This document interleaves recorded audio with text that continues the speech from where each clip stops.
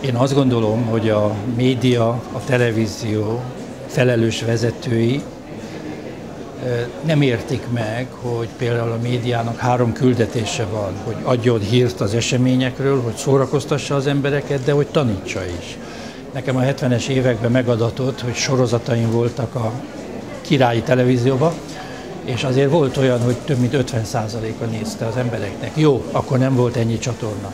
Tehát én azt gondolom, hogy igenis az emberekben van egy igény erre, hogy az egészségükkel, a tehetségükkel és általában az életükkel kapcsolatos kérdésekre választ kapjanak, hogy a tudomány hogy haladt, hogy az emberek érdeklődnek, de érdekes módon a média vezetői azt hiszik, hogy csak a szex, csak a pornó, csak a bűnügyek, hogy csak a legalantasabb emberi igények kielégítése a feladat. Én ezt egy nagyon nagy bűnnek tartom, mert én azért érzékeltem a 70-es években, hogy a médián keresztül mit lehet elérni. Tehát, hogy meg lehet tanítani az embereket a genetikára, hogy tudják mi a kromoszóma, hogy kell egészséges kisbabát világra hozni, és olyan nagy bűn ez, hogy most ezzel az lehetőséggel nem élünk. Én úgy gondolom, én is meglepődtem, hogy ennyien voltak itt, tehát az emberekben igenis él ez a vágy, és olyan jó lenne, hogyha a televíziós, a média vezetői rájönnének, hogy ez lenne egy igazi méltó